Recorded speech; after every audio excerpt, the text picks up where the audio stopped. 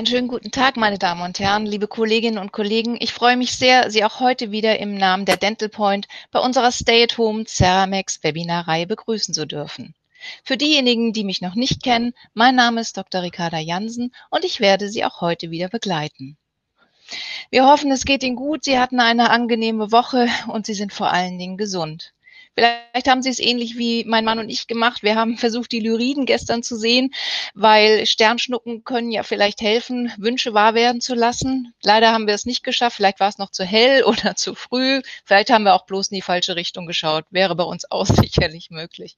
Aber wir haben ja noch bis zum 25. April Zeit, dieses spektakuläre ähm, Himmels ähm, Wunder zu sehen und dann äh, können wir vielleicht noch den einen oder das die eine oder andere Sternschnuppe erhaschen und noch ein paar extra Wünsche gen Himmel senden. Heute geht's aber erstmal wieder um einen unserer Webinarreihen, ähm, Vorträge. Diesmal geht es vor allen Dingen um die Ästhetik. Wir werden den Vortrag zunächst aufnehmen. Wir werden mal sehen, ob wir ihn auch hochladen können. Das müssen wir noch abklären.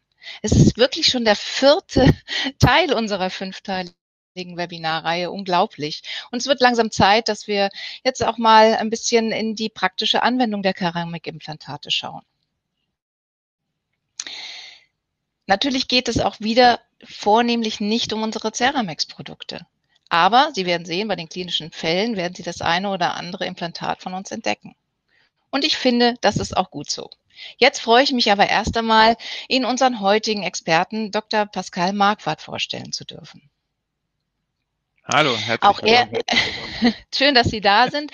Ich freue mich wirklich, dass Sie sich sofort bereit erklärt haben, mitzumachen, genau wie unsere anderen Referenten auf ihr Honorar verzichtet haben zugunsten einer Spende für die WHO.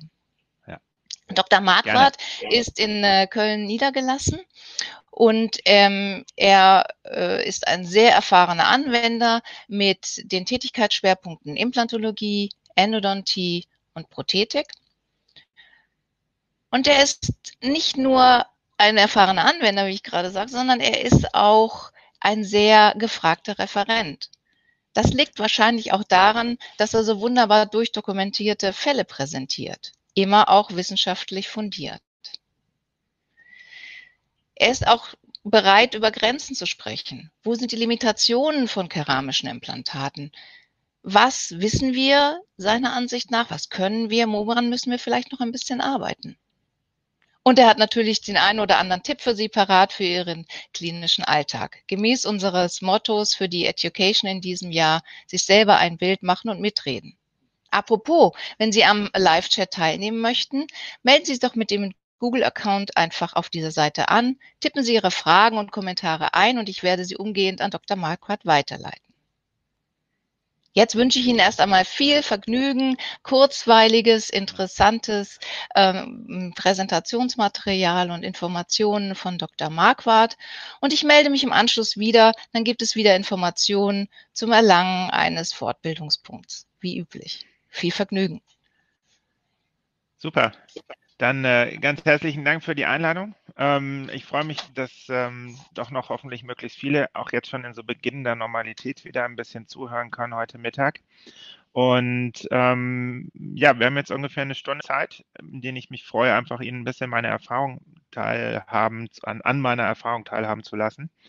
Ähm, aus den letzten fünf Jahren keramischer Implantologie. Und wir ähm, ja, können im Prinzip einfach mal anfangen mit ähm, der Präsentation. Und ähm, ja, die Frage ist so ein bisschen, die ich gestellt habe, ähm, machen wir ähm, Keramikimplantate im klinischen Alltag alles wie gehabt oder sind letztendlich neue Wege möglich? Und ähm, ja, die Hauptfrage, die allerdings auch schon so ein bisschen in den drei bis in den vier Präsentationen, drei Präsentationen vorher schon geklärt wurde, ist im Prinzip, warum wollen wir überhaupt ein bestehendes System wechseln?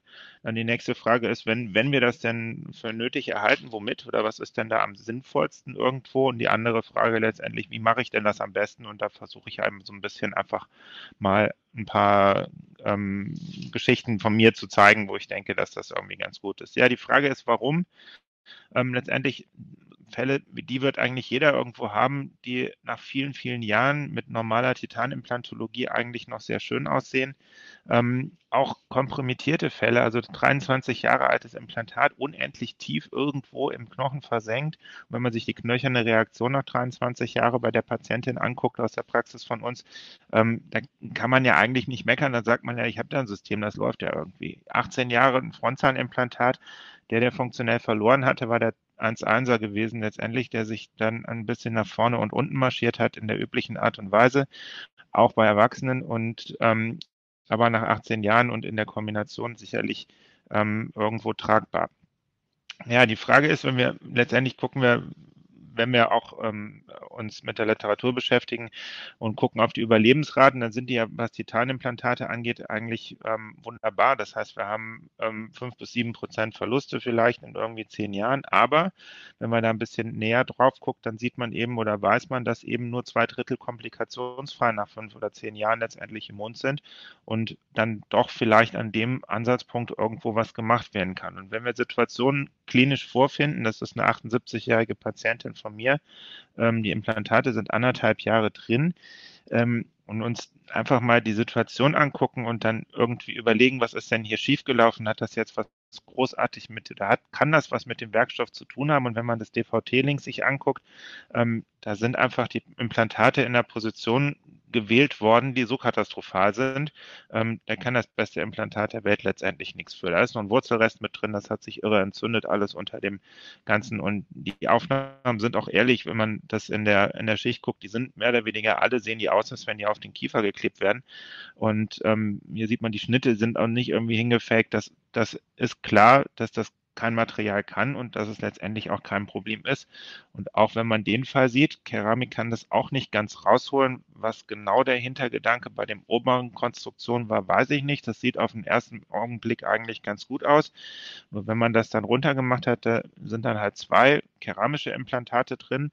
Und ähm, natürlich ist das eine riesen Siffgrube zwischendrin, wobei man ehrlich gesagt sagen muss, dass für diese Art von Konstruktion wäre ich ziemlich sicher, dass das ziemlich anders ausgesehen hätte, wenn wir hier zwei Titanimplantate drin gehabt hätten. Aber natürlich ist das hier jetzt auch primär der ganzen Sache zu schulden oder hier unten, wo man einfach einen riesen dicken Molan gemacht hat. Das haben wir jetzt gerade in zwei Prämolaren geändert und dann funktioniert das Ganze auch wieder ganz gut, aber das ist sicherlich nicht primär irgendwie eine Materialschuld. Genauso dieser Fall, ähm, sicherlich ein bisschen extrem. Hier hat man zusätzlich noch die Komponente, dass wir Goldaufbauten haben mit einem gewissen Spannungsgefälle und so weiter. Aber wenn wir uns das Ganze von oben angucken, dann sieht man einfach, die Implantate sind alle vier viel zu weit bukal gesetzt worden und ähm, wenn wir ähm, äh, uns auch die Prothetik angucken, sehen wir, da ist einfach alles dermaßen schief gelaufen. Ähm, das das äh, hat letztendlich eigentlich nicht viel irgendwo mit dem Material zu tun. Und da ist jetzt momentan unser Langzeitprovision. Wir haben da noch zwei keramische Implantate, in dem Fall, weil er keine Lust mehr auf normale Implantate hatte, dazugesetzt und ähm, der Fall wird jetzt herausnehmbar gelöst. Periimplantitis ist ein Thema, will da auch gar nicht groß drauf eingehen. Das, das ist alles schon sehr ausgiebig gehört worden und ähm, letztendlich eigentlich nur zusammenfassend ähm, aus den, der großen Studie von Jan Derks, ein bisschen limitiert, allerdings auch inzwischen wieder von Andrea Mombelli, ähm, 20 Prozent der Patienten, das heißt jeder fünfte nach zehn Jahren hat eines der Zeichen BOP Doppel plus ähm, Post Doppel plus Sondierungstiefen erhöht. Das ist nicht ähm, sicherlich, wenn man das, das, das ähm, äh, die Blutungsindex ein bisschen rausnimmt, wieder runter, aber letztendlich ist das schon irgendwo ein Zeichen, dass ähm, es doch vielleicht die Möglichkeit gibt, noch was Besseres zu bekommen. Ähm, auch durchaus interessant, wenn man sich mit dem Thema beschäftigt und ähm, auch mit der Praxis mit dem Schwerpunkt sich langsam dahin bewegt, irgendwo sind die Patienten mit chronischen Erkrankungen. Und ähm, wenn man auf Allergiker letztendlich guckt, ähm, haben wir die Prävalenz von Allergikern seit 20 Jahren letztendlich verdoppelt. Morbus Crohn hat das in 24 Jahren geschafft und Multiple Sklerose ist heute dreimal häufiger als 1970. Und wir erleben das alle viel, viel mehr Patienten, die einfach immunologisch dermaßen durchgetriggert quasi sind, dass wir halt letztendlich überlegen müssen, wie können wir diese Patienten speziell so behandeln, dass wir dann nicht noch zusätzlich an, wenn auch nur möglichen immunologischen Trigger reinsetzen. Das hatte ich am Anfang schon so ein bisschen gesagt. Letztendlich, die Ursachen der Periimplantitis sind aus meiner Sicht heute sehr, sehr vielfältig.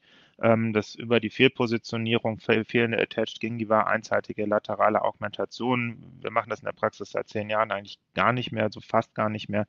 Ähm, äh, der Center-Effekt ist sicherlich auch ein, ein wichtiger Aspekt. Wie häufig werden Implantate gemacht und ähm, ähm oder in welcher Qualität letztendlich. Ähm, dicke, Blocken, dicke Blocktransplantate wissen wir, dass sie langfristig zu Problemen führen können. Deswegen sind wir wieder zu beispielsweise Curie-Schalentechnik äh, zurückgegangen oder falscher Einsatz von Knochenersatzmaterialien. Und ein zusätzlicher Effekt letztendlich ist, dass wir natürlich auch wissen, dass wir mit dem Material unter Umständen zu kämpfen haben. Ähm, ist auch schon alles erklärt worden. Wir, wir reden von der Tribokorrosion, das heißt, wir haben chemische, mechanisch-chemische Prozesse, die dazu führen, dass sich Titanoxidpartikel ablagern ähm, durch Partikelabrieb und Korrosion. Und ähm, wir wissen auch, und das ist ja so das Wichtigste eigentlich bei Titan, dass wir keine Titanionen im Wesentlichen im Knochen haben. Ähm, vielleicht springen die gerade so von der Oberfläche anfänglich durch und werden allerdings sofort wieder durchoxidiert. Und das ist eben der große Unterschied zu anderen Metallen. Das heißt, ähm, auch nochmal in Ergänzung zu meinen Vorrednern in den Webinaren, falls sie geguckt worden sind, wir haben ähm, das wissen wir inzwischen eigentlich sehr gut, eigentlich kein allergis allergisierendes Potenzial aus Titan hinaus, sondern wenn, dann reden wir davon, dass wir eine partikuläre Struktur im Gewebe vorfinden, die dann letztendlich eine Partikelreaktion machen kann. Und das ist halt beispielsweise der Unterschied zu Aluminiumoxid. Aluminiumoxid oxidiert nicht immer komplett durch. Das heißt, ich habe immer die Möglichkeit mit Aluminiumoxid, was ja auch bewusst als Impfer, Impfverstärker zum Beispiel, wie auch Titanoxid dazu genommen wird. Ähm, da habe ich immer die Möglichkeit auf freie Ionen und deswegen kann es durchaus ähm, haptenvermittelte Sensibilisierung auf Aluminium geben. Allerdings, und das ist ja, worum es letztendlich geht, ist, dass wir auch wissen, dass es einen gewissen Partikelreiz ähm, führt, der letztendlich zu einer immunologischen Reaktion des umliegenden Gewebes und ähm, ja, auch das ist schon geklärt worden. Wir haben TNF-Alpha als proentzündliches Interleukin 1-Beta, die hauptproentzündlichen Zytokine letztendlich, die freigesetzt werden können. Ähm, man kann sich natürlich denken, dass dadurch systemische Trigger letztendlich irgendwo ausgelöst werden können. Da ist immer so ein bisschen die Frage, beißt, der, äh, beißt die Katze sich jetzt in den Schwanz oder warum dreht sich das Kranze? Und wir wissen auch, dass die Titanoxidpartikel Einfluss auf die orale Mikroflora haben, die verändert sich und letztendlich fördert auch, wird dadurch auch wieder ähm, durch eine Aktivierung von Makrophagen dadurch die lokale Wirkung proentzündlich ähm, gefördert. Was wissen wir aber auch, oder letztendlich, wir wissen, dass, ähm, dass dieses Ausmaß der lokalen Immunreaktion immer davon abhängig ist, wie groß diese Stückchen sind, die da rumfliegen. Wenn man mehr oder weniger Nanopartikel hat aus Titanoxid, so 0,2 Mikrometer, dann passiert da relativ wenig. Wenn man allerdings ähm, so zwei Mikro Mikrometer große Partikel nimmt, und das ist das, was die meisten Autoren, die darüber berichten, auch wirklich dann in dem periimplantären Knochen und Weichgewebe gefunden haben, dann sind das Partikel von 1 bis 3 Mikrometer und die lösen eben im Vergleich zu ähm, anderen Materialien durchaus ähm, eine erhöhte Sekretion von TNF-Alpha aus. Das haben wir hier nochmal kurz gezeigt und wenn man das so ein bisschen zusammenfasst, ähm, dann äh, stellen wir immerhin fest, dass wir bei zwei Mikrometer großen Titanoxidpartikeln eine 17-fach erhöhte Ausschüttung von TNF-Alpha im Vergleich zum Aluminiumoxid-Keramiken haben. Ähm, an sich Zirkon hat an sich schon viel, viel weniger Abrieb, weil die Oberfläche viel, viel stabiler und härter ist. Ähm, es sind dann häufig sehr, sehr kleine Partikel mit 0,2 Mikrometer, gehen die einfach durch die Zellen durch und letztendlich hat das Material eine viel höhere Korrosionsbeständigkeit. Das heißt, wir reden, wenn wir von Zirkon oder Aluminium, Aluminiumverstärkten Zirkon sprechen, auch immer von einem Material, was halt sehr, sehr ähm, ähm, immunologisch ähm, äh, inert ist letztendlich. Und insofern macht das ja Sinn, darüber nachzudenken, letztendlich auch ein Implantat aus einem immunologisch sicher unbedenklichen Werkstoff zu verwenden oder zu entwickeln. Ähm, wie kann man das jetzt rausfinden? Man ist sich ja so ein bisschen unschlüssig. Bei dem einen funktioniert es mega gut und bei dem anderen, ähm, die Titan, Titanimplantat hält 30 Jahre zumindest klinisch, radiologisch völlig fester im Knochen, kann ein Entzündungszeichen. Bei dem anderen fliegt einem das um die Ohren und alles ist super gesetzt und wir haben ganz viele Attached Gingiva und es ist im eigenen Knochen und dann ist letztendlich die Frage ja schon, kann man im Vorfeld dann irgendwie rausfinden, dass ähm, äh, der, der Patient vielleicht nicht geeignet ist für ein Titanimplantat. Und da wird letztendlich vom IMD in Berlin ja zum Beispiel diese Molekulargenetik über die Entzündungspolymorphismen ähm, angeboten. Die graduieren es dann von Grad 0 bis 3. Die Kernaussage ist, dass im Prinzip Grad 0 ist ein immunologisch eher unauffälliger Patient und Grad 3 ist dann ein Immunsystem, was an sich schon wieder ein bisschen hochdreht und ähm, eher empfindlich wäre dann für Patienten mit Titanoxid. Man muss dazu grundsätzlich sagen, ähm, wir hatten, ich hatte mit, äh, mit der Beschreiberin dieses Test, der Lisa Jacobi-Kressner, gemeinsam Vortrag in Berlin jetzt gehabt bei der DGI. Und ähm, letztendlich beruhen diese Daten auf einer Studie mit 109 retrospektiv ausgewerteten Patienten mit einem Implantatverlust von 41 Patienten zu einer Kontrollgruppe von 68 Patienten. Und ähm, das darf man so ein bisschen nur vorsichtig einem Genetiker sagen, der sagt sofort, das ist letztendlich nicht großartig verwertbar. Ähm, zu einer gesicherten Evidenz gehören ein paar tausend Fälle, damit man letztendlich auch und, und vielleicht sogar noch mehr Genstellen, ähm, um zu sagen, das hat auch sicher einen Einfluss. Ich denke, es ist vielleicht ähm, eine zusätzliche Information, bin allerdings selbst auch ein bisschen zurückhaltender gewesen äh, in, in den letzten Zeiten mit, mit den genetischen Untersuchungen, weil ähm, letztendlich brauchen wir noch viel mehr Patientenfälle, um das auch wirklich zu verifizieren. Das macht alles Sinn von der Logik her und so weiter. Aber ob das denn tatsächlich so ist, ähm, denke ich, müsste man noch ein bisschen weitergehender ähm, äh, untersuchen.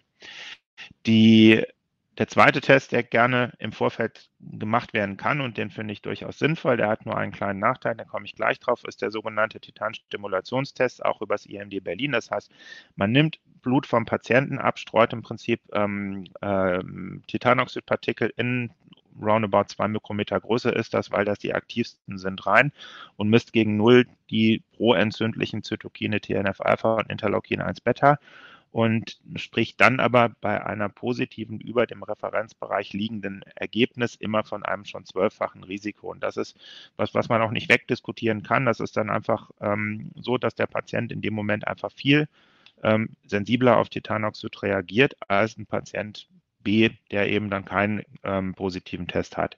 Der einzige Nachteil bei dem Test ist, der bleibt nicht das Leben lang so. Und das heißt, kann, wir können heute einen Titanstimulationstest machen, der unauffällig ist.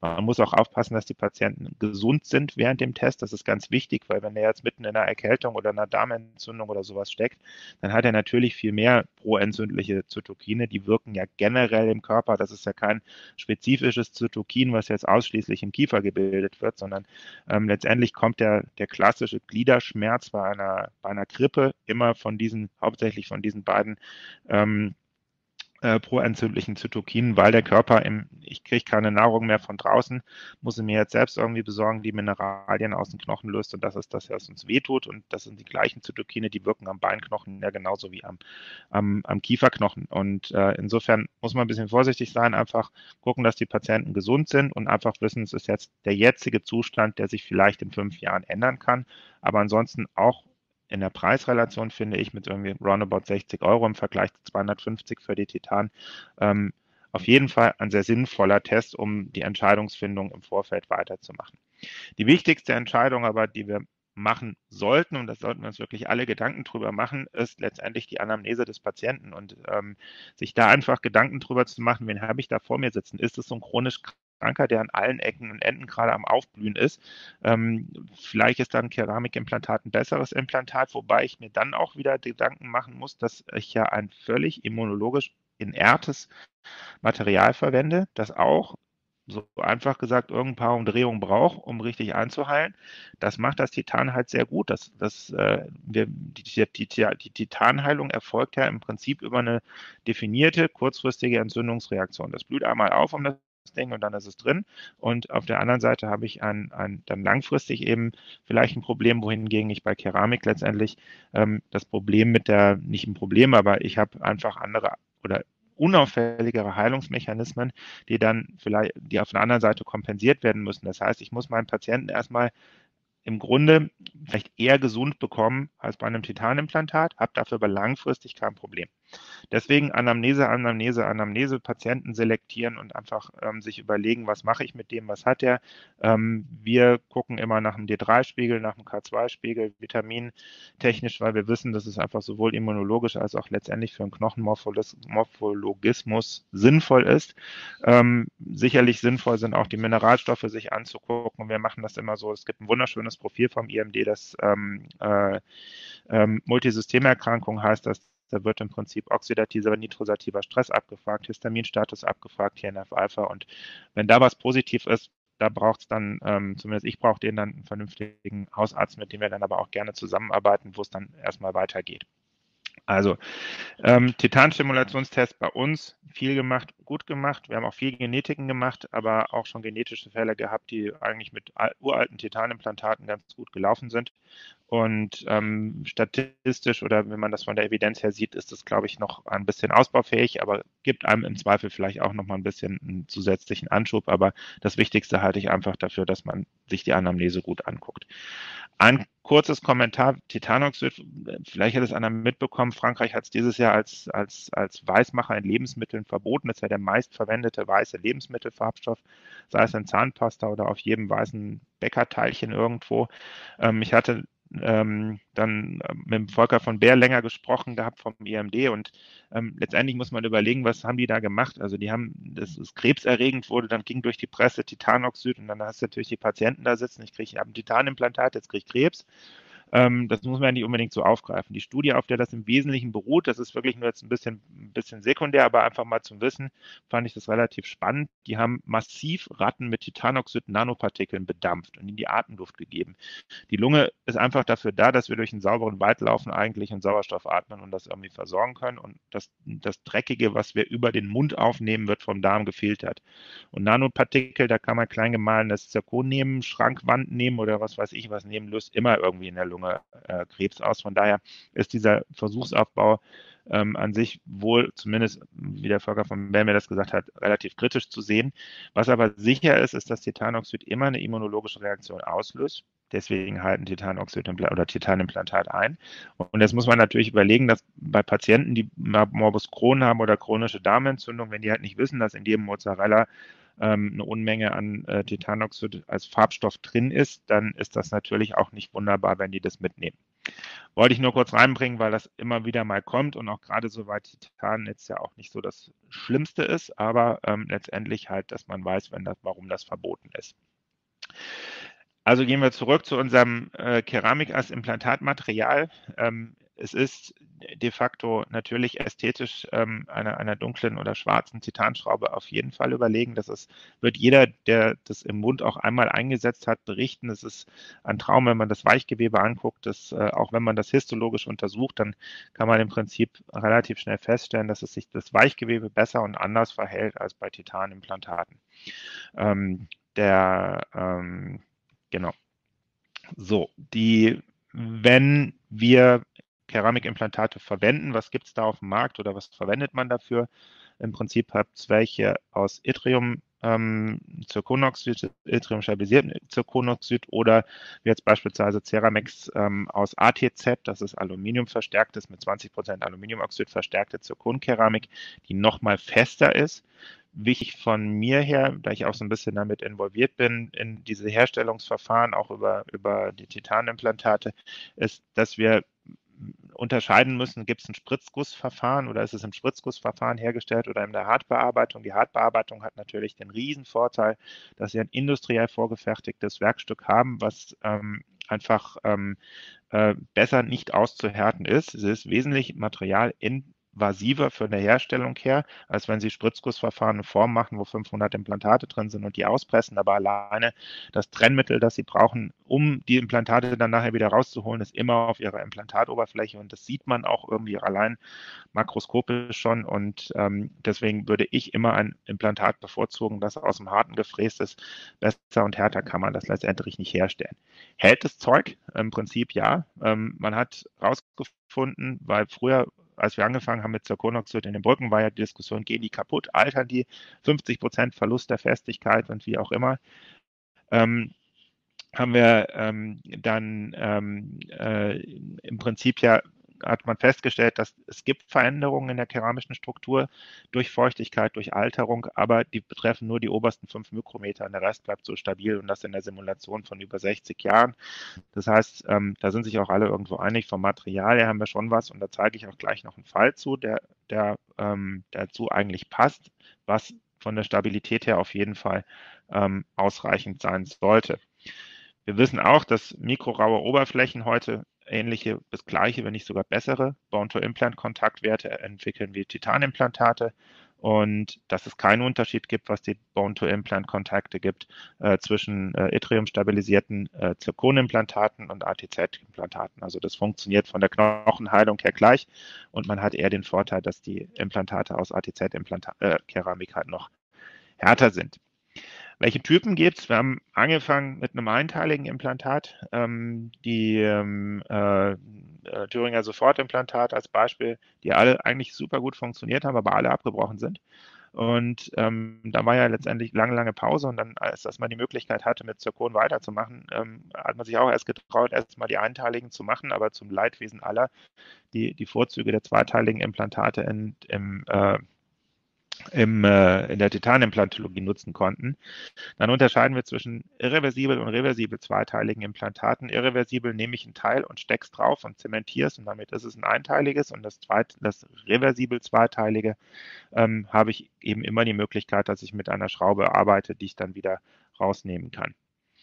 Einteilig nur mal kurz Gedankengang in der Front ähm, ist jetzt zusammengefasst, weil wir ähm, über, die die PDF kaum Animationen senden können wenn man sich das so vorstellt, wie so ein Implantat an so einem Einser drin ist und wir setzen das Millimeter supragingival bukal, ähm, dann geht der Knochen ja noch so, lass ihn roundabout einen Millimeter zurückgehen. Das heißt, ich habe da die ersten zwei Millimeter Tasche, das wäre noch alles völlig in Ordnung. Nur habe ich ja dann und freue mich dann, wenn ich eine 4, 5 Millimeter hohe Papille habe. Und wenn man sich halt jetzt die ähm, Konstruktion eines runden einer runden Basis anguckt, dann starte ich im Prinzip sofort mit einer Situation, die mit einer Tasche startet, die eigentlich über fünf bis sechs Millimeter ist. Und ist die Frage, will ich das wirklich? Und das zweite hauptsächliche Problem ist, wie kriege ich an solcher Stelle eigentlich sicher meinen Zement wieder weg? Da gibt es eine ganz tolle Studie von 1997, die ist uralt. Da haben, die haben, glaube ich, sechs erfahrene ähm, Oberärzte von der Uniklinikabteilung dran gesetzt und haben unter Laborbedingungen mit irgendwelchen Blöcken haben die, die, ähm, haben die ähm, Zementreste entfernt und sie konnten bei allen sehen, da sind immer noch Zementreste drauf. Von daher ist ähm, egal, auch welche Technik ich nehme, ob ich das jetzt vorzementiere oder ein kleines Abschlusslöchlein im Palatinal reinmache, das Venting, das ver verbessert die Situation unheimlich. Aber letztendlich habe ich immer das Problem, dass ich da irgendwo rumkleben muss und unabhängig von der Position des Implantates ist es aus prothetischer Sicht ein einteiliges Implantat und aus biologischer Sicht in der Vermeidung einer ähm, primär schon generierten Tasche eigentlich ähm, nicht das, was ich unbedingt gerne haben möchte, ähm, wenn ich ähm, eine Alternative zu einem Titanimplantat haben möchte. Das hier ist mein allererstes Keramikimplantat gewesen, ähm, ein einteiliges Implantat und man sieht auch bei dem äh, das äh, beim Sechser, ähm, das ist natürlich ein riesen Sechser, der drauf Und wenn man dann sich überlegt, was passiert von der eigentlich schön regenerierten Papille bis unten zur Implantatschulter, auch ich habe gekämpft, um alles dort versuchten, irgendwie wegzumachen. Klinisch hat es jetzt nach vier, fünf Jahren keine Auswirkungen gehabt, aber ähm, darin sehe ich letztendlich die Haupt, den Hauptnachteil von, ähm, äh, von einteiligen Implantaten.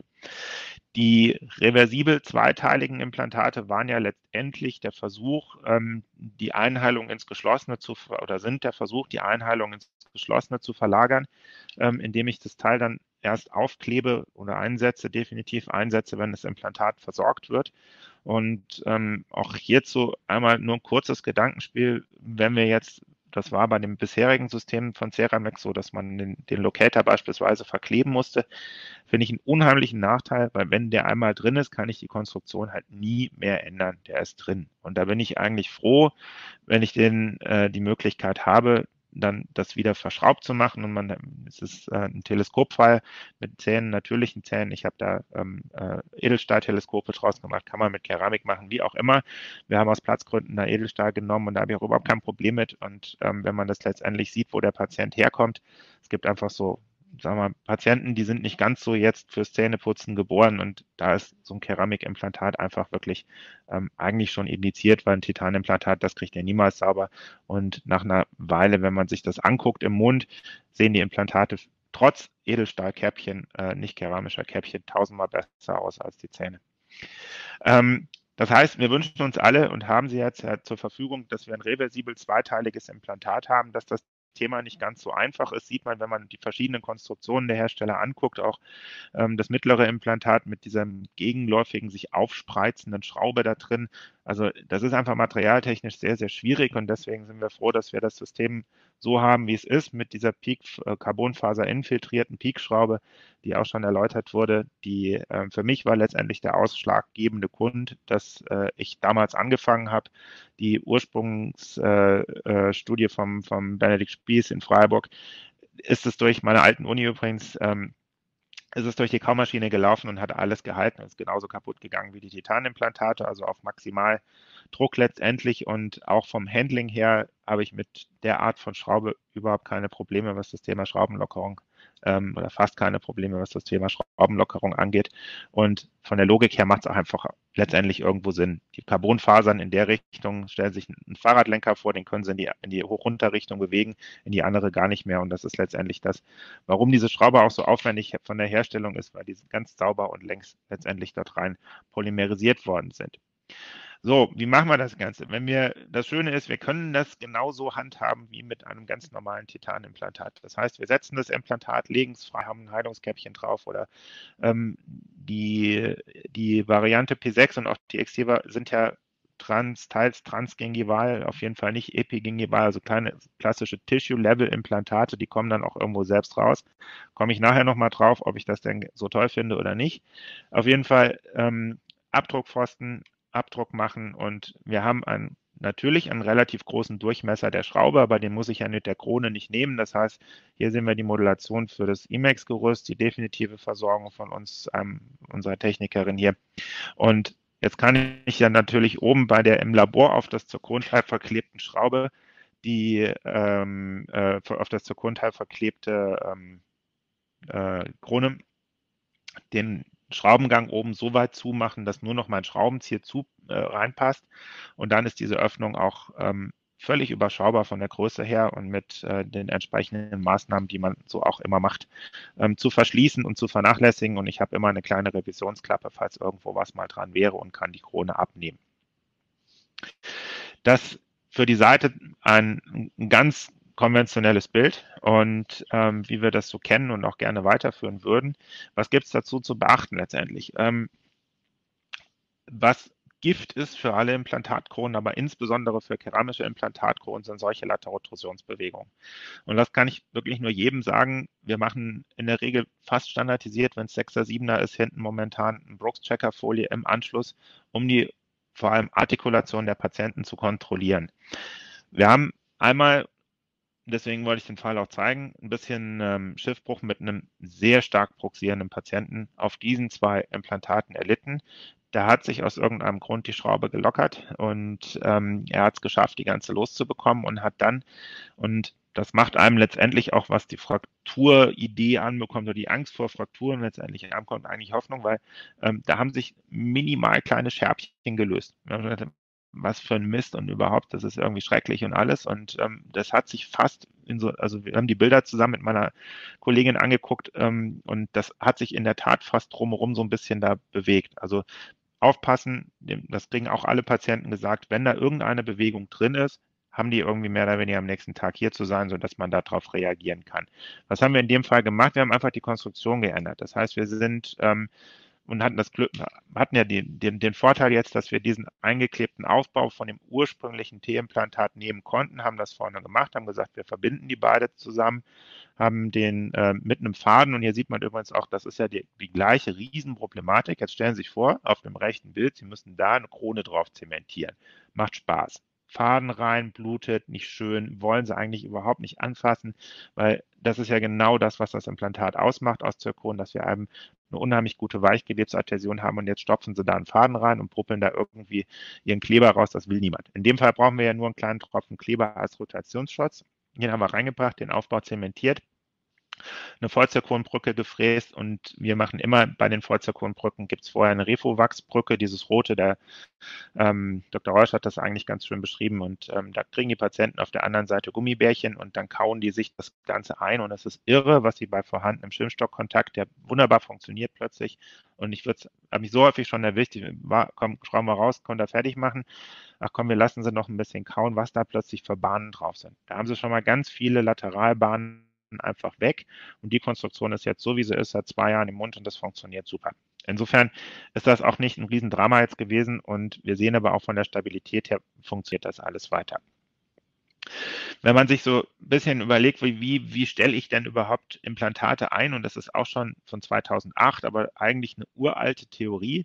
Natürlich geben Zähne mehr nach, wenn ich zusammenbeiße und das Implantat gibt überhaupt nicht nach. Das ist jetzt auch kein Unterschied von Titan zu Zirkon, aber wir machen das so, wir stellen da keinen Schimmstock mehr ein. Das heißt, der Schimmstockkontakt kommt dann, wenn die Patienten feste zubeißen. Wir beseitigen alle lateralen Bahnen und insbesondere, wenn das 6er, 7er oder 5, 6, 7 in der Folge sind, ähm, kriegen die Patienten noch so eine 0,2 Millimeter dicke Brooks-Checkerfolie mit für eine Nacht, die sie tragen. Und da sehe ich dann auch nochmal drauf, dass ich meinen statischen Kontakt gerne habe oder ganz knapp halt habe und ähm, aber auf keinen Fall irgendeinen Laterottorsionskontakt.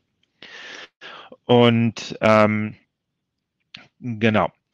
Was mache ich denn jetzt auf dieses keramische Implantat drauf? Gibt's denn, ist das jetzt da alles nur passiert, weil wir da irgendwie ein Material drauf gemacht haben, was funktioniert oder nicht?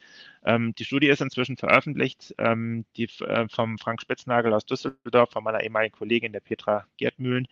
Ähm, die haben ein tolles Review gemacht, was eigentlich auch meine gesamte klinische Erfahrung widerspiegelt, was ähm, das Thema angeht. Ähm, das war jetzt auch sehr spezifisch auf Keramikimplantate, betrifft aber letztendlich alle irgendwo.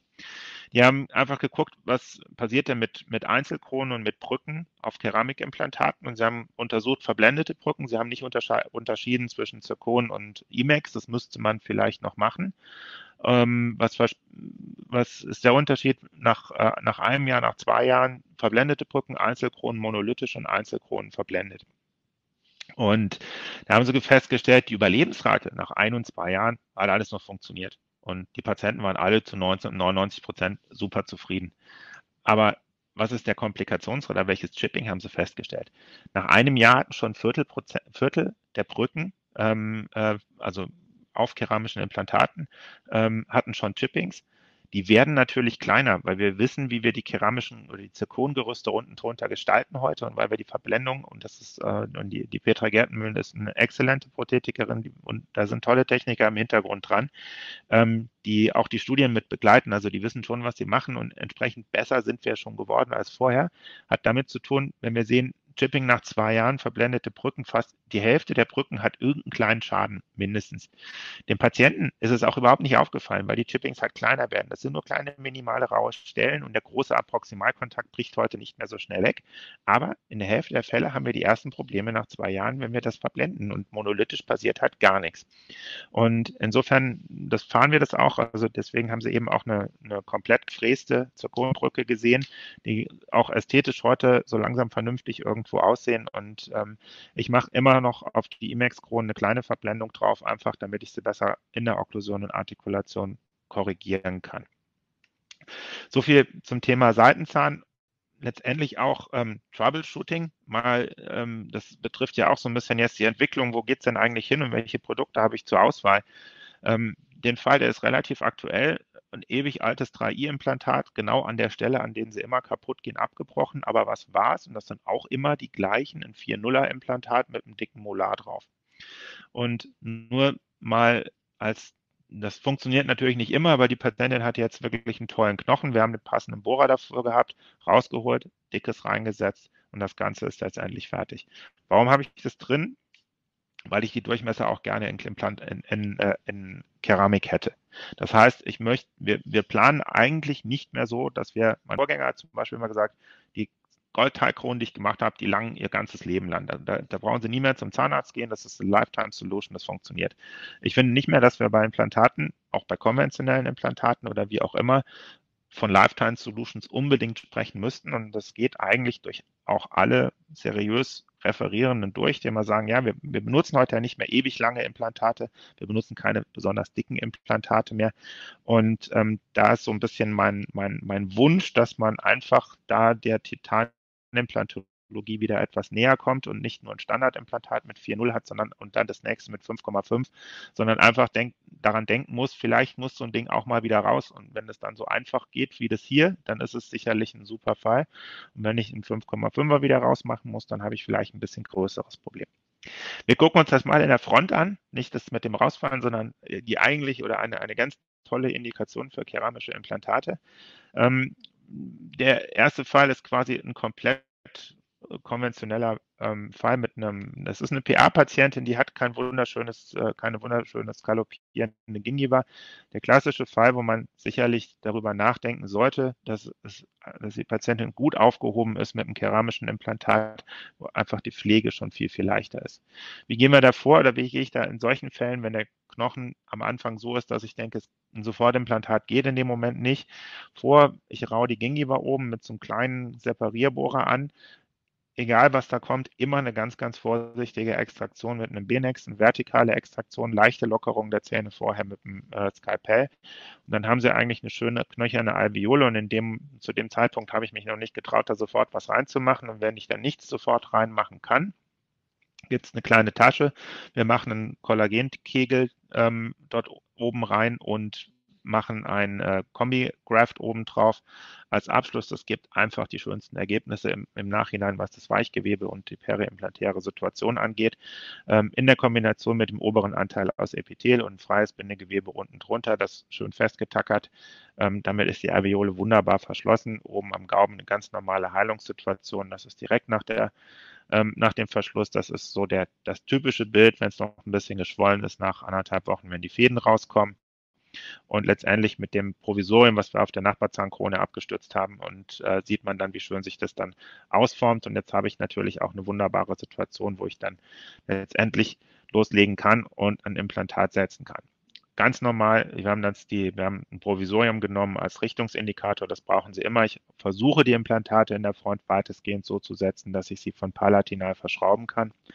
Ähm, das ist äh, ganz konventionelle Protokoll von Daniel Buser sicherlich schon seit 15 Jahren ähm, Early Implant Placement beschrieben. In dem Fall haben wir einen P6 genommen, 4,2 Millimeter ähm, inseriert und ähm, auch wieder ganz konventionell, wie wir das immer gemacht haben, mit äh, Eigenknochen im oberen Bereich abgedeckt und im unteren Bereich mit nicht präsorbierbaren Bovinenmaterial und dann mit einer Membran abgedeckt. Ähm, ganz strikt dem ganzen System folgend. Und dann haben wir noch für ein paar Wochen das Provisorium nach ähm, vier, fünf Monaten Einheitszeit umgewandelt ähm, und äh, um ein bisschen die Gingiva noch mehr zu formen. Dann hat das alles funktioniert. Dann macht man sich so einen individuellen Abdrucklöffel, der ähm, mit dem Provisorium, damit der Techniker nicht nochmal irgendwas an dem Zahn modifizieren muss. Und ähm, Abdruck Krone, Einzelzahnkrone und man sieht hier ist überhaupt kein Druck mehr auf der Gingiva drauf, deswegen mache ich die bei Frontzahnimplantaten eigentlich immer.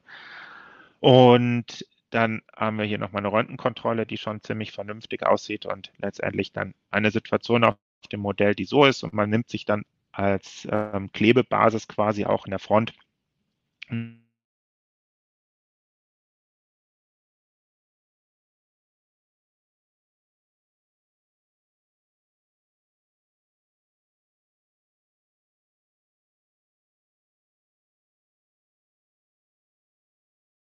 Das ist die Situation dann direkt nach dem Einsetzen. Da muss man natürlich ein bisschen warten, bis man ein schönes Bildchen hinbekommt. Die sieht dann so aus.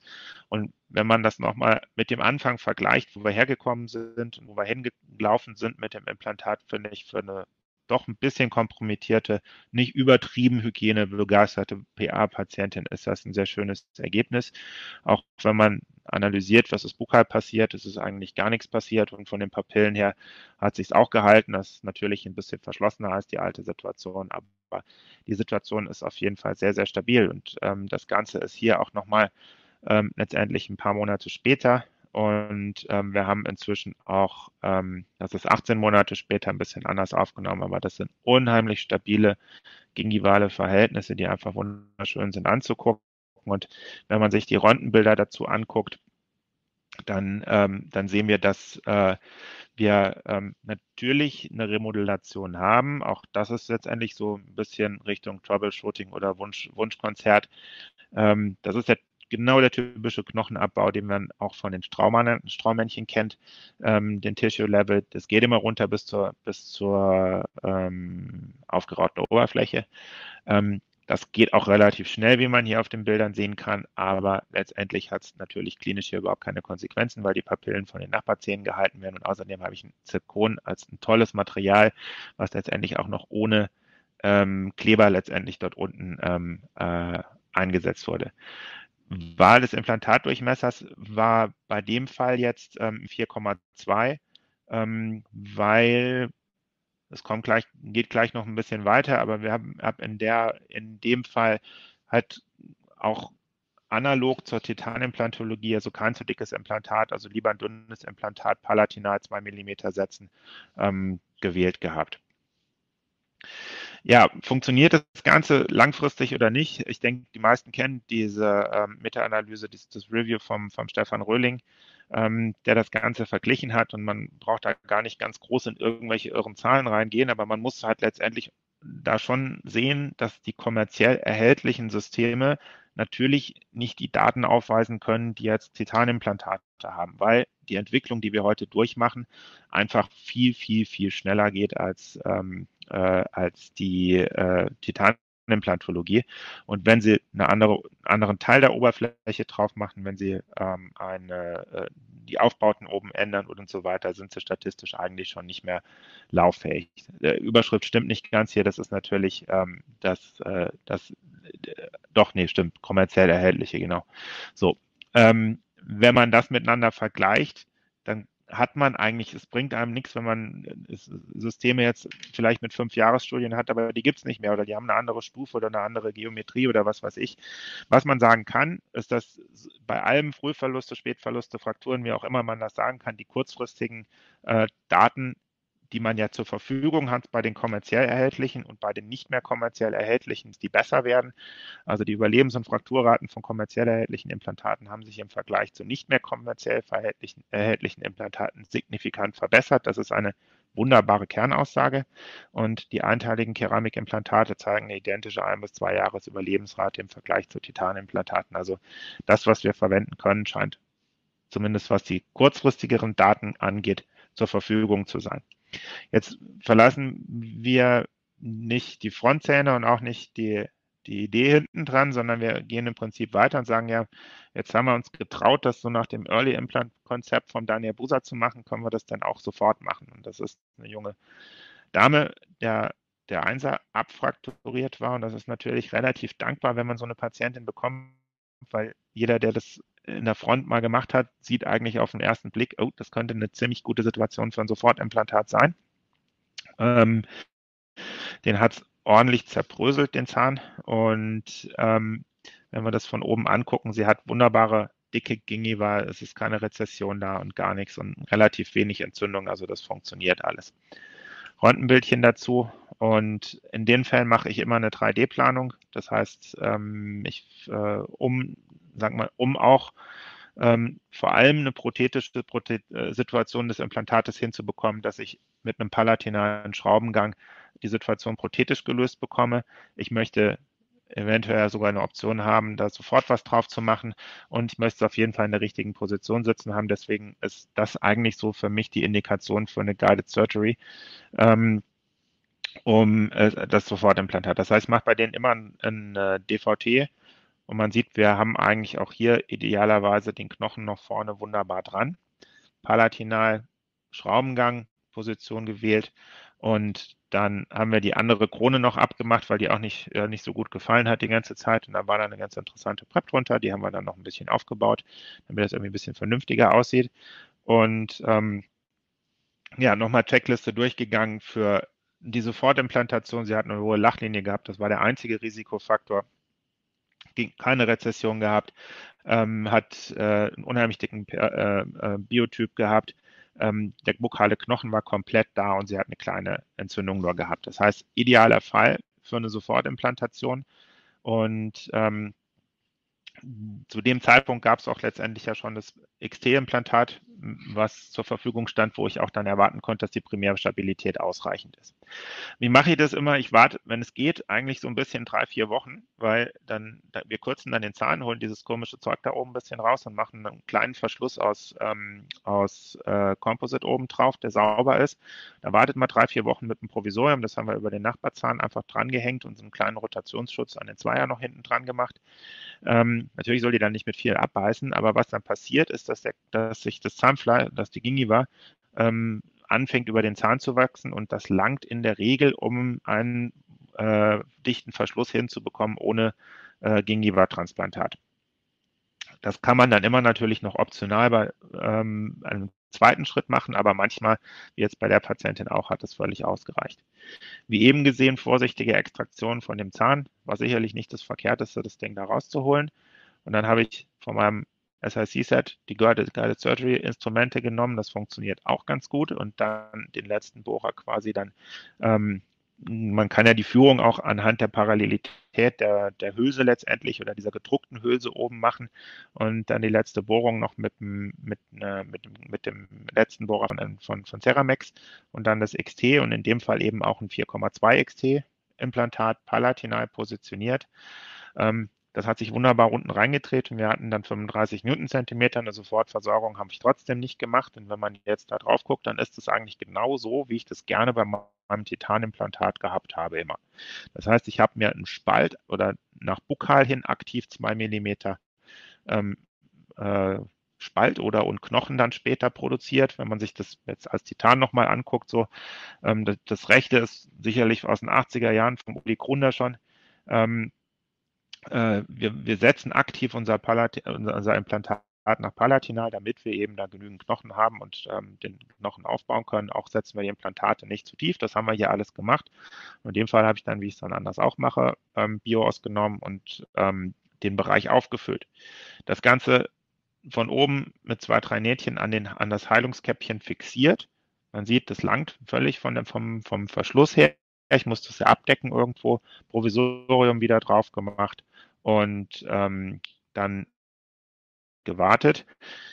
Ähm, wirklich analog der Technik damals noch, wie wir das ähm, von der, von der Titanimplantologie kennen, das wunderbar verheilt. Und dann haben wir im zweiten Schritt, weil sie den 1.1 noch unbedingt behalten wollte, 2.1, da nochmal eine kleine WSR gemacht mit Mikroskop und MTA unten dran gemacht. Und weil sie so ein bisschen Rezession hatte da oben, habe ich dann das Ganze nochmal aufgetunneliert und nochmal ähm, inklusive Membran ein bisschen ähm, äh, durchaus von vorne dran geschoben, nur aus ästhetischen Gründen.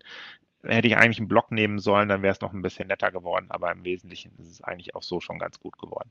Das Ganze wieder zugetackert und so langsam waren wir so weit, dass wir das Implantat versorgen konnten, haben das Provisorium geswitcht, haben ein rein Implantat getragenes Provisorium aus dem Brückenprovisorium gemacht, wieder gleiche Technik wie eben. Das heißt, wir haben das Ganze übertragen in die Laborsituation individualisierte Abformpfosten, haben die Zweier noch mitpräpariert und wieder aufgebaut.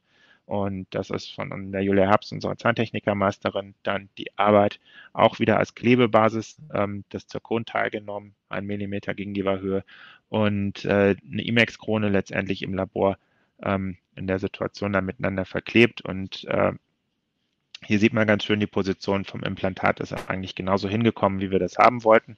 Und äh, wir kommen da palatinal raus, können Emacs wunderbar anätzen, Silan drauf und ich habe einen adhesiven Verbund zur Füllung.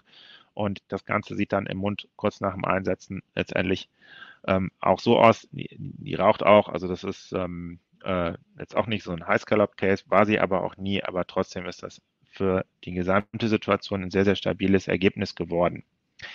Und die anderen natürlich sehr glücklich damit.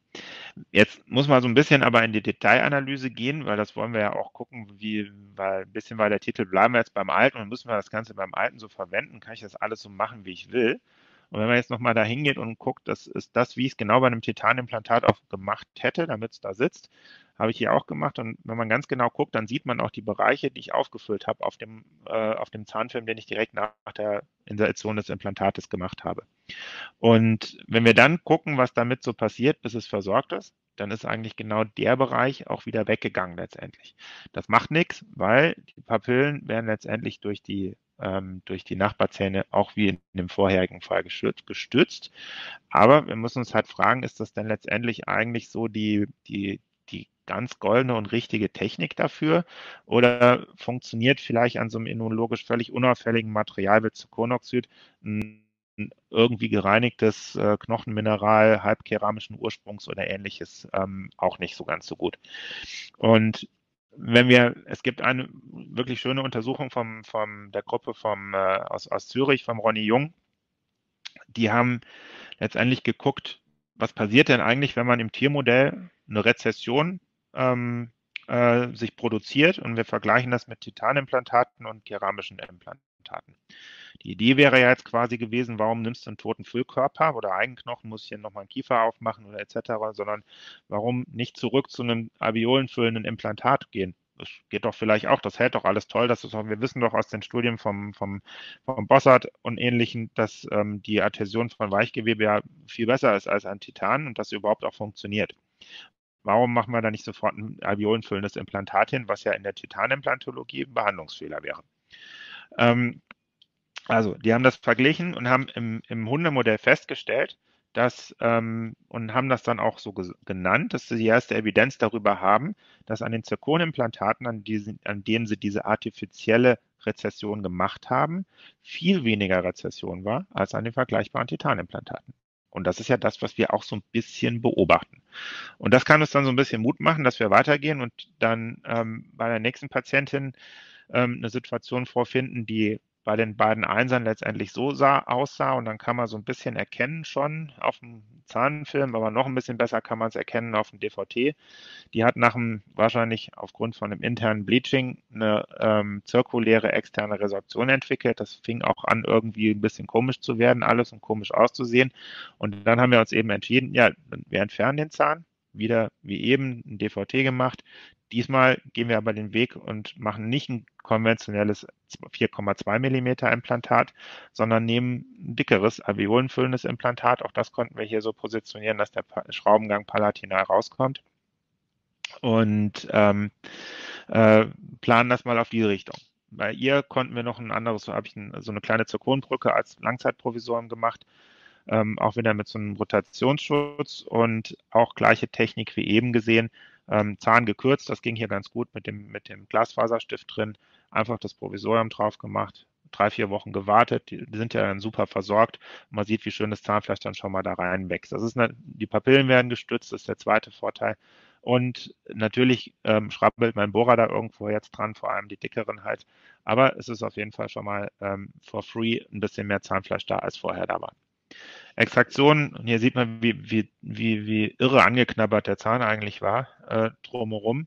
Und äh, der Blick von oben, auch hier ideale Grundvoraussetzung für eine Sofortimplantation, bisschen Systemmix wieder, den dicken Bohrer am Schluss.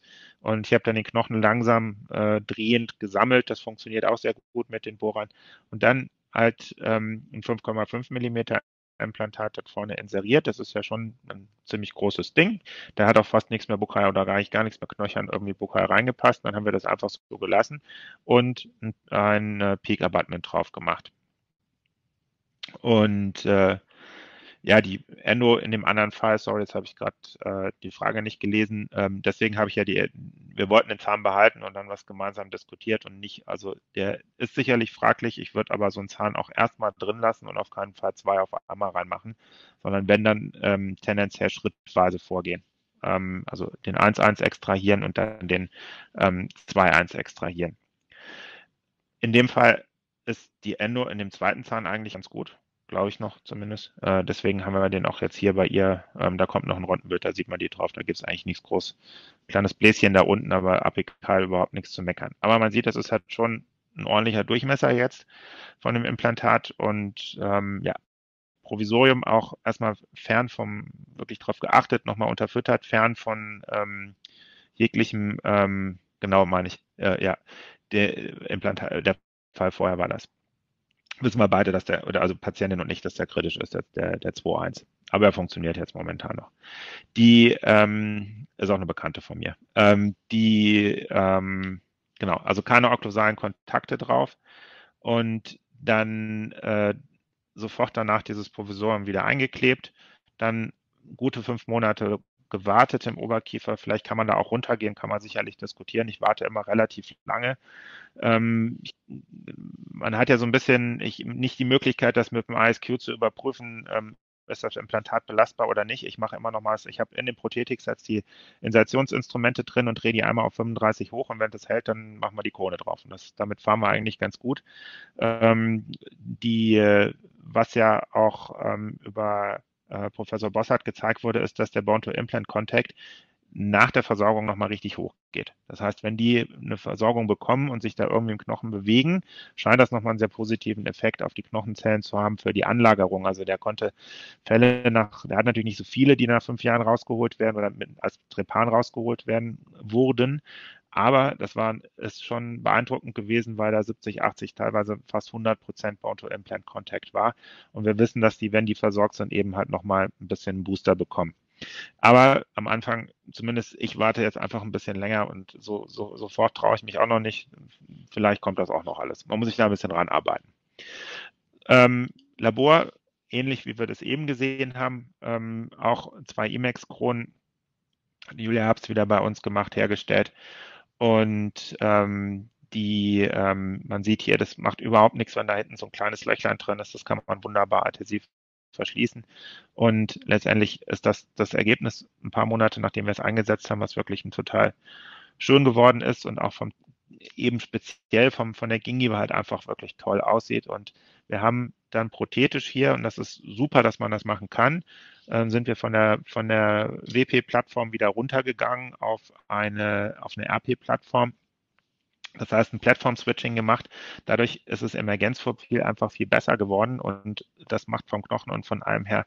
Ähm, das Röntgenbild ist, äh, glaube ich, nochmal so drei, vier Monate. Also ist jetzt noch nicht irgendwie zwei Jahre drin, aber ähm, macht einen ganz tollen Eindruck und macht vor allem prothetisch Sinn, dass ich nicht dann noch breiter wieder da hochrennen muss, sondern dass ich eben ein dickeres Implantat habe, mit dem ich mit einem kleinen ähm, ähm, äh, mit einem kleinen Durchmesser hochgehen konnte. Die Adhesivbrücke haben wir mit, äh, mit Relay X geklebt. Allerdings nur, ähm, das manchmal ein bisschen abhängig davon, wie es funktioniert. Also die teilweise mit einem kleinen Punkt ätzen, ohne Bonding, teilweise ohne Ätzen mit Bonding unten drunter. Ähm, wenn die halt dreimal rausgeflogen sind, dann gehe ich da schon ein bisschen mehr mit Adskill drüber. Manchmal halten die halt auch wie Bombe, das ist immer ein scheiß Spielchen. Ähm, machst du sie so fest, dass sie im Prinzip super halten, dann die, kriegst du sie nicht mehr raus, wenn du ran musst. Und äh, äh, ja, ist so ein Spielchen. Aber mit Relay X Ultimate und ähm, Variablen anätzen und ähm, Scotchbond einsetzen, so ein bisschen. Meistens punktförmig. Hier nochmal der Vergleich vorher und nachher. Und ähm, das rechte Bild sieht man es unten, so eine kleine Kante ist uns abgegangen von der Krone. Das ist jetzt, ähm, ich glaube, acht Monate. Muss gucken, habe ich irgendwo drunter stehen. Ähm, später, aber man sieht, dass am Implantat hat sich eigentlich nichts getan. Die Papille in der Mitte hat sich noch ein bisschen gefüllt. Ähm, sie hat ein bisschen Rezession da unten am, am, am 2.1, aber um das Implantat rum bombenstabile ähm, äh, Weichgewebsverhältnisse und so gefühlt aus dem Bauch wird es eher besser, als dass es schlechter wird in der Situation. Also das scheint so zu sein, dass wir da schon in der Keramik einen Vorteil haben, wo man sich ein bisschen mehr, aber nicht unendlich, glaube ich, ähm, äh, äh, aus dem Fenster lehnen kann. Ja, das funktioniert natürlich nicht nur in der Front. Ähm, das ist schon eigentlich fast ein Standardfall unter Kiefer Prämolar, auch vorsichtige Extraktionen und ähm, dann äh, gegen die Waage gesetzt, verschraubt. Wie gesagt, ich traue mich jetzt noch nicht, da was groß drauf zu machen, abgewartet. Ähm, und dann die, ähm, die Krone oben drauf. Und ähm, ja, ist ein völlig normales Knochenverhalten vom XT, die sicherlich, das sicherlich konstruktionsbedingt ist. Ja, abschließend vielleicht noch, wo ähm, sind denn die Grenzen? Ähm, sowas traue ich mich jetzt, also das ist seit zehn Jahren irre hohe Kronen auf vergleichsweise verhältnismäßig sehr, sehr kurzen äh, Titanimplantaten. Das sind so Fälle, die, da habe ich jetzt noch fast ein bisschen Bauchschmerzen mit. Also wenn man das hier so sieht, das waren noch Titanaufbauten, damit immerhin schon mit einer Zirkonbrücke. Also da ist echt ein Wahnsinnshebel hinten dran. Ähm, das ist aber ein Bauchgefühl, dass ich sowas vielleicht lieber in Titan mache als in Keramik. Wenn ich mir jetzt einen 5,5er Keramik da hinten vorstelle, wäre das vielleicht sicherlich auch wieder möglich. Man hat ja den Vorteil, es ärgert alle, wenn der Zahn kaputt geht. Und ich glaube sehr fest, oder also die Studien, die wir haben über die Verbindung, zeigen ja, dass wenn was kaputt geht, dann geht eigentlich die Verbindung dann oben. Also das Implantat geht auch irgendwann kaputt, aber ähm, bei einem normalen Durchmesser ist das stabil, aber man hat das halt erst geht die Verbindung kaputt und da muss man halt einen neuen Zahn drauf bauen. Das ärgert alle, finden alle total doof. Aber ähm, ähm, die ähm, äh, es ist halt nicht das Implantat dann kaputt.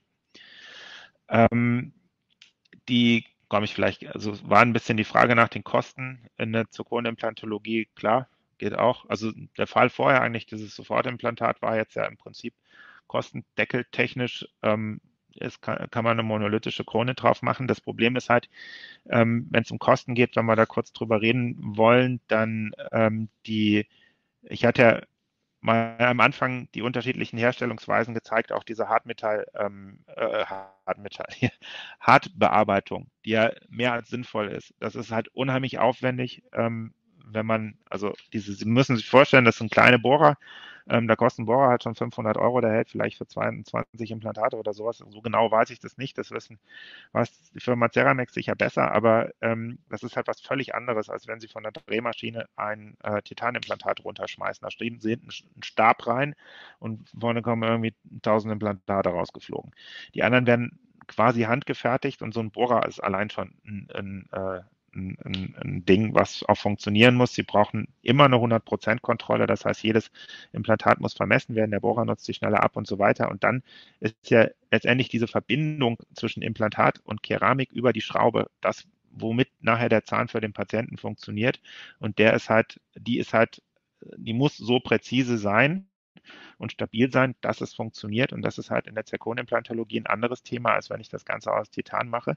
Und macht die, den, den, den Grundpreis letztendlich aus. Auf der anderen Seite ist es so, dass natürlich ähm, kriegen sie es in der Variante jetzt nicht günstiger hin ähm, äh, oder kriegen sie es in Titan materialtechnisch günstiger hin.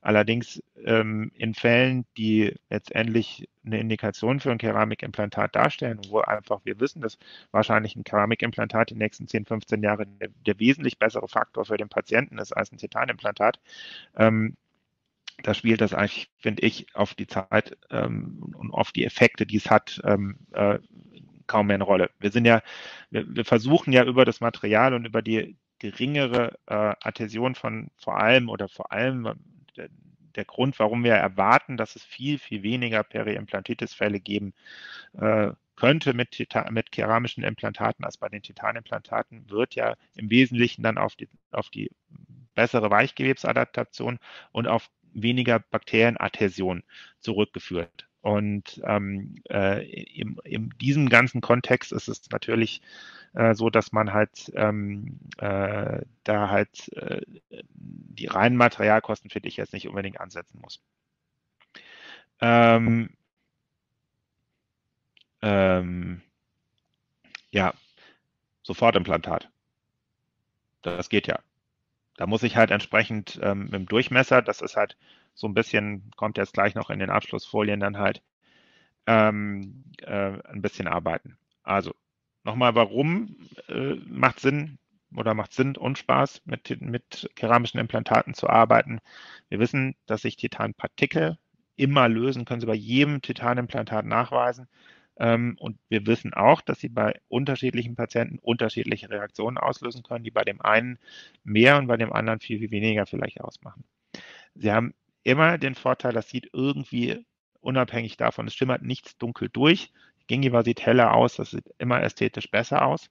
Und wir haben durch die, durch die wahrscheinlich viel bessere Weichgewebsadhäsion auch den Vorteil, dass ich unter anderem deswegen auch mal ein Implantat in der falschen Position besser optisch ausgleichen kann als bei einem Titanimplantat. Ähm, das, was wir eben gerade gesagt haben, die bessere Hygienefähigkeit, ähm, Da sind wir uns eigentlich sicher, dass das zu weniger Periimplantitis führen wird. Wir haben vereinzelt eine Periimplantitis. Meine Fälle konnte ich, äh, oder meine, meine zwei, die ich habe, konnte ich eigentlich alle erklären. Das eine war ein großer Knochenblock und das andere eine multimorbide Patientin, ähm, bei der irgendwie gar nichts funktioniert hat. Ähm, und ähm, die ähm, insofern ähm, sind die extrem selten, also wirklich ganz selten, auch bei, bei denjenigen, die schon ein paar tausend davon gesetzt haben. Und das letztendlich führt halt, wird man es dazu zurück, dass sie einfach besser von der Hygienefähigkeit sind.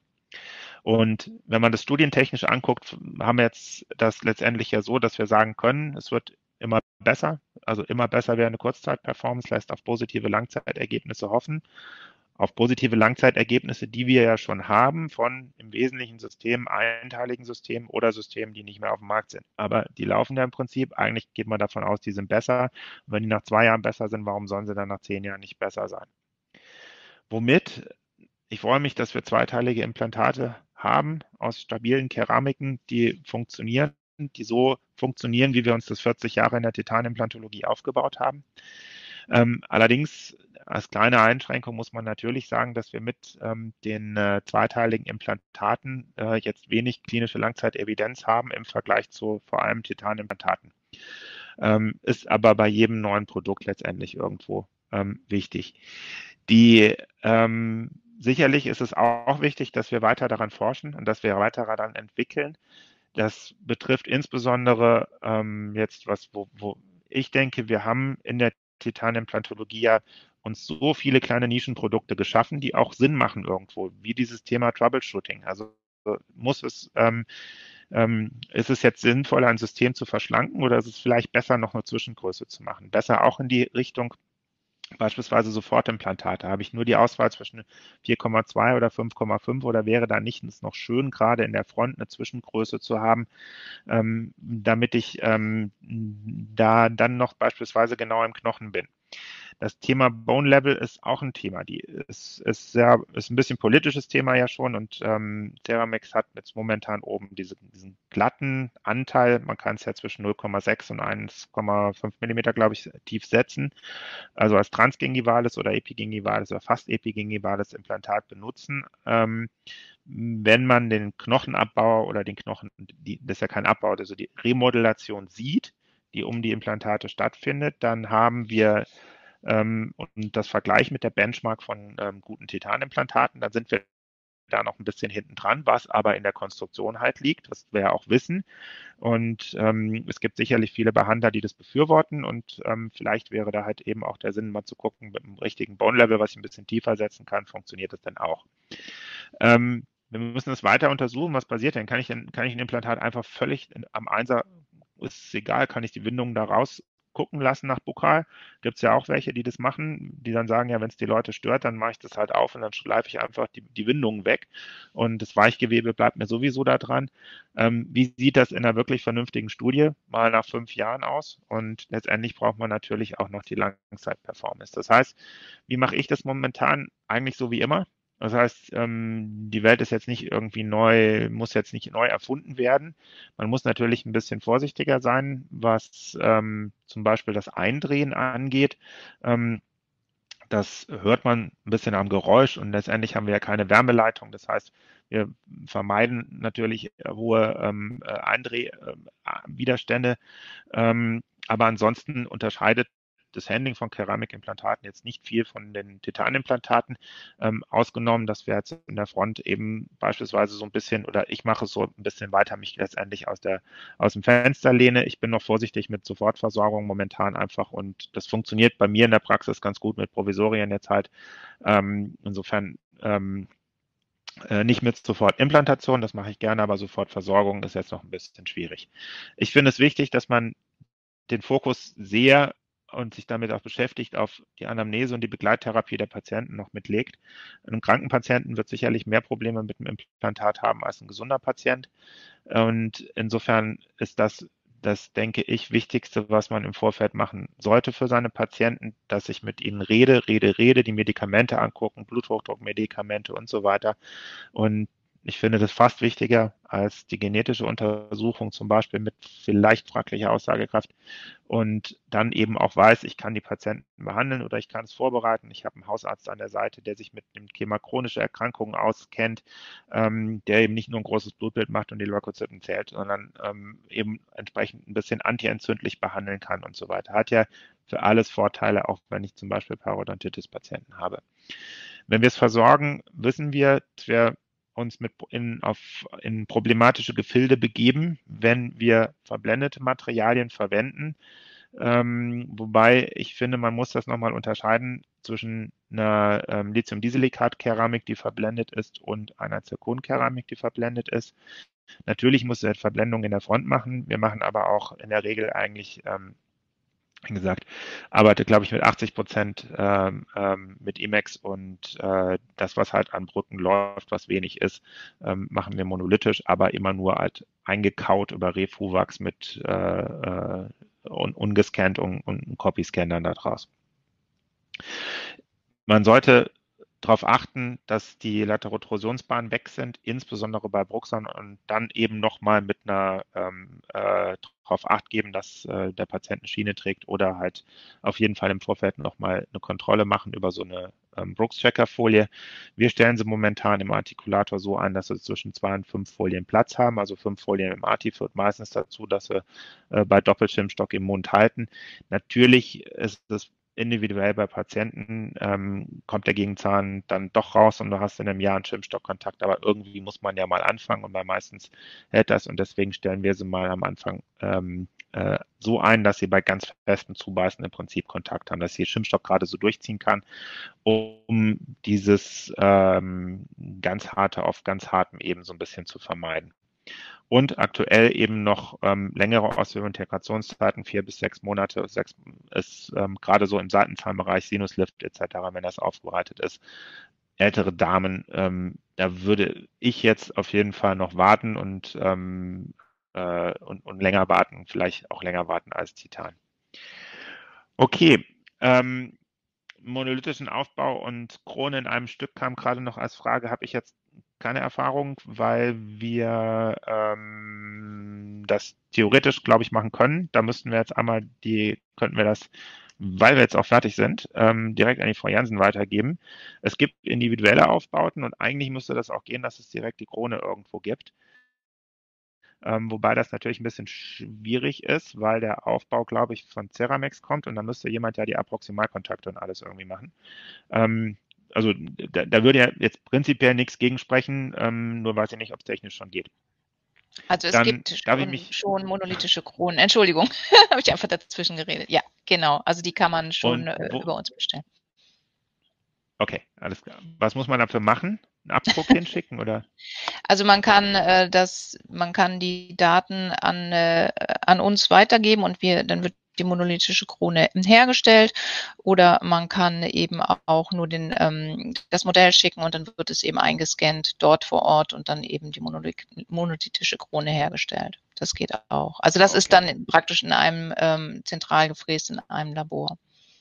Aber natürlich geht es auch Chairside, aber dann hat man eben kein monolithisches, sondern dann hat man eben wieder die zweiteilige Geschichte. Monolithisch geht eben nur über die Bestellung im zentralen Fräslabor. Gut. Entschuldigung. Nein, ich habe ja gefragt. Okay. Super. Erstmal vielen herzlichen Dank für die ganz, ganz, ganz spannenden Ausführungen. Ich denke, ich habe nicht so viel versprochen. Tolle Fälle, die auch immer mit den relevanten, relevanten Daten belegt sind. Das hat mir sehr, sehr gut gefallen. Vielen Dank, lieber Herr Dr. Marquardt. Toll. Auch, dass Sie zwischendurch schon die Möglichkeit hatten, die Fragen zu beantworten. Das haben wir auch weitestgehend getan. Meine Frage haben Sie, ohne, es, ohne sie zu kennen, schon zu beantworten. Ich hätte nämlich gerne gewusst, ähm, wie, wie Ihre ähm, Versorgung aussehen, was Lithium-Disilikat versus Zir Zirkon angeht. Und das haben Sie ja eben schon in Ihrem Abschlussslide beantwortet. Also bin ich da auch schon happy. Ähm, es gibt, es gab noch mal die Frage ganz am Anfang, äh, wie Sie die Durchmesser der Implantate. Sie hatten ja eben schon gesagt, Ihnen fehlt eigentlich so eine Zwischengröße, aber wie richten Sie sich denn dann aus, wenn Sie sagen, okay, ich habe jetzt diese beiden Varianten, wann greifen Sie dann zum dickeren und eher zum dünneren also die ähm, Molaren versuche ich schon immer mit dem Molaren eigentlich mit einem 5,5er zu machen. Ähm, wir machen jetzt ähm, fast ausschließlich XT und da im Grunde bin ich ja froh, dass ich dann 5,5er habe, weil das ist ein ordentliches Implantat, da hast du auch das Gefühl, dass das nicht kaputt, das kann gar nicht kaputt gehen. Und ähm, die halten auch und, und aber es gibt halt, also für die Molaren, ich, wir, wir machen das, ich habe fast nie auch ähm, in, in Titan 4 mm Implantate für ein Molar gesetzt, sondern tendenziell immer lateral aufgebaut. Und ähm, wenn man sich anguckt, was bei denen bei konventionellen Implantaten kaputt gegangen ist, und mal, es sind ja jetzt nicht so viele kaputt gegangen, aber wenn es Frakturen gab, waren ja ich immer bei 4 mm mit einem dicken Molar drauf. Und ähm, das würde ich, auch wenn es freigegeben ist, jetzt äh, äh, wenn das ein kleiner Molar ist, kannst du da vielleicht ein 4,2 drunter machen, aber sonst würde ich persönlich jetzt immer versuchen, ein, äh, ein 5,5 Millimeter Implantat zu, drunter zu setzen. Und ja, und der Rest kommt ja ganz gut mit einem 4,2er klar und dann haben wir ja noch das dünne. Prima. Aber es wäre trotzdem vielleicht nicht so schlecht, mal Überlegenswert. Ja, schon aufgeschrieben. ich habe noch eine Frage zur Guided Surgery. Die hatten Sie ja insbesondere bei dieser Sofortimplantation, wenn ich es richtig im Kopf habe, ja. beschrieben. Das ist der einzige, ja. äh, die einzige Indikation, wo Sie die standardmäßig verwenden oder machen Sie das auch in anderen Fällen? Ja, wir machen das also standardmäßig wirklich bei jedem Sofortimplantat in der Front, weil das sind in der ästhetischen Zone auch bei jüngeren Patienten, das sind so wichtige Gegenden und ähm, wobei ich habe übrigens ähm, von äh, in der Front bin ich inzwischen bei, glaube ich, fast 100 Prozent Keramik. Ähm, das, äh, da, da sind wir auf jeden Fall schon so angekommen. Und ansonsten gibt es ja im Prinzip von der, was heißt Indikation, das ist ein, ein Hilfstool, dass ich äh, bei mir selten brauche, weil ich viele, ich habe so eine vielleicht 1,2, 1,5er Rate Patient pro Implantat. Das heißt, ich habe eine Privatpraxis geerbt, der von meinem Vorbehandler, der sehr gut behandelt hat und ähm, ganz, ganz, ein ganz klassischer Goldrestaurierer war. Da geht mal irgendein Endozahn flöten und dann kommt ein Einzelzahnimplantat rein. Und ähm, insofern, dafür brauche ich keine, keine Guided Surgery. Und ähm, natürlich für, für komplexe Fälle auf jeden Fall, für Teleskopfälle also für mhm. alle, alle herausnehmbaren Teleskope, ähm, für die auf jeden Fall, weil da brauche ich ein, ein, Setup, wo ich dann genau die Implantate drunter positionieren kann. Das ist sicherlich eine Indikation, die wir ähm, benutzen. Und wenn, wenn Geschichten kommen mit einer Full Art Sofortversorgung, ja, dann bereiten okay. wir das Provier vor und das ist alles dann in der Schublade. Aber ja. Vielen Dank. Jetzt möchte ich Ihnen nicht vorenthalten, dass ähm, unsere Teilnehmer ganz tolle positive Nachrichten und Kommentare hinterlassen haben, dass Ihnen der Vortrag sehr, sehr gut gefallen haben und Sie sich herzlich bedanken. Das möchte ich auch Danke. gerne so weitergeben und dem kann ich mich auch nur anschließen. Ich kann mich auch nur wieder allen Teilnehmern ähm, herzlich Danke sagen, auch für die vielen Fragen, insbesondere dem Marc Wenziger, der wieder ähm, ganz rege sich beteiligt hat. Das freut mich immer sehr. Ich hoffe, wir konnten die Fragen richtig und gut beantworten. Wenn nicht, wie gesagt, schicken Sie uns eine kurze E-Mail, dann können wir das auch nochmal mit dem Dr. Marquardt so klären. Ja. Herzlichen Dank wieder für Ihre Zeit. Schön, dass Sie da waren. Denken Sie dran, Sie können auch wieder einen CME-Punkt äh, für dieses Webinar erhalten. Dazu müssten Sie das Abschlusstestat auf unserer Ceramax-Webseite absolvieren. Sie kommen hier über den Link direkt dorthin. Der Link ist bis Freitag online. 70 Prozent müssen erreicht werden laut Vorgabe der Bundeszahnärztekammer, aber ich bin ganz sicher, nach diesem wunderbaren Vortrag ist das überhaupt gar kein Problem. Ansonsten nochmals herzlichen Dank für Ihre Zeit. Vielen Dank auch nochmal an Dr. Marquardt und auch an den Christian für seinen technischen Support. Ja, wir haben noch ein Webinar vor uns, nächsten Mittwoch dann mit dem ähm, Dr. Dr. Thomas Mehnert. Auch da geht es wieder um praktische Erfahrungen mit Keramikimplantaten. Ich freue mich sehr auf Sie. Ich wünsche Ihnen eine gute Woche und halten Sie Ausschau nach Sternschnuppen. Dankeschön.